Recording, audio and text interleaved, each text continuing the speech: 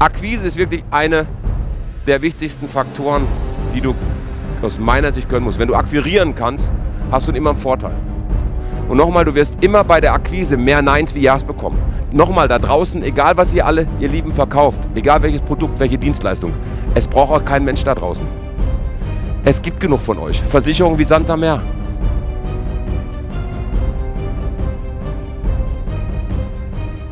Der größte Engpass heute nach wie vor für mich ist, zeig mir einen Verkäufer, der Termine hat und ich zeige dir einen Verkäufer, der Geld verdient.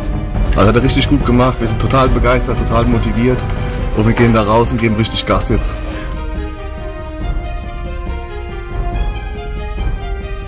Die Frage ist nur, wie geduldig bist du und wie bleibst du dran? Im Endeffekt steckt der Mann einfach nur an.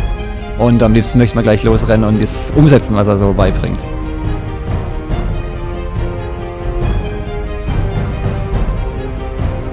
Schau, eine Frage deiner Einstellung. Und nochmal, Akquise ist eine Frage deiner Einstellung.